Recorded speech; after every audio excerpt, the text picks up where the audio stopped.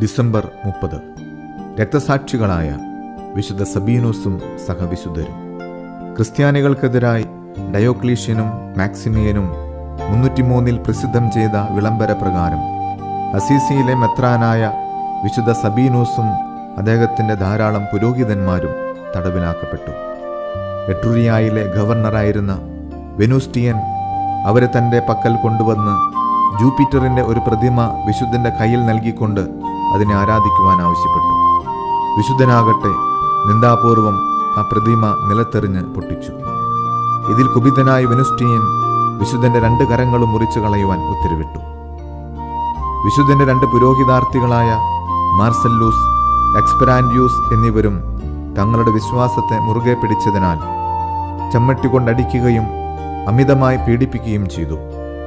ഇത്തരം പലവിധ പീഡനങ്ങൾ മൂലം അവർ രണ്ടുപേരും അധികം താമസിയാതെ മരണമടഞ്ഞു. സബീനൂസിനെ കാരാഗ്രഹത്തിലടച്ചു സെറേന എന്ന പേരായ ഒരു വിധവ തന്റെ അന്ധനായ മകനെ വിശുദ്ധ സബീനൂസിന്റെ പക്കൽ കൊണ്ടുവന്നു. കൈകൾ മുറിച്ചു നീക്കപ്പെട്ട വിശുദ്ധൻ അവരെ അനുഗ്രഹിക്കുകയും തൽഫലമായി ആ വിധവയുടെ മകന്റെ കാഴ്ച തിരിച്ചു കിട്ടുകയും ചെയ്തു. ഇത് കണ്ടുനിന്ന വിശുദ്ധന്റെ സഹ തടവുകാർ ഉടനെ തന്നെ മാമോദിസ സ്വീകരിച്ചു. ഈ സംഭവം കണ്ണുകൾക്ക് അസുഖം മൂലം പീഡയനുഭവിച്ചിരുന്ന ഗവർണറായ വെനൂസ്റ്റിയന്റെ മാനസാന്തരത്തിന് കാരണമായി. അദ്ദേഹത്തിന്റെ കണ്ണിലുണ്ടായിരുന്ന അസുഖവും വിശുദ്ധ സബീനൂസ് സൗഖ്യമാക്കി. വെനുസ്റ്റിയനും അദ്ദേഹത്തിന്റെ ഭാര്യയും കുട്ടികളും പിന്നീട് ക്രിസ്തുവിനു വേണ്ടി തങ്ങളുടെ ജീവൻ നൽകിയതായി പറയപ്പെടുന്നു.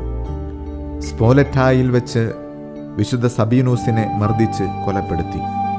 അഗാധമായ പാണ്ഡിത്യവും വിശുദ്ധിയും നിറഞ്ഞ മനുഷ്യനായിരുന്നു വിശുദ്ധ സബീനൂസ്. സഹനത്തിൽ നിരാശപ്പെടാതെ ക്ലേശങ്ങളെ സന്തോഷപൂർവം സ്വാഗതം ചെയ്യാനും ഒരു ക്രിസ്ത്യാനി എന്ന നിലയിൽ മൗനമായി സഹിക്കുവാനുമുള്ള കൃപാവരത്തനായി വിശുദ്ധ സബീനൂസിന്റെ മാധ്യസ്ഥ്യം തേടാം.